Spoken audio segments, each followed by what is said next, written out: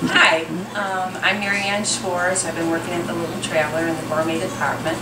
And today we're featuring our uh, Captain Rodney's. This is a uh, glaze. That's a finishing glaze for chicken, pork, uh, fish. Uh, you can put it on, especially I do, uh, put it on tilapia.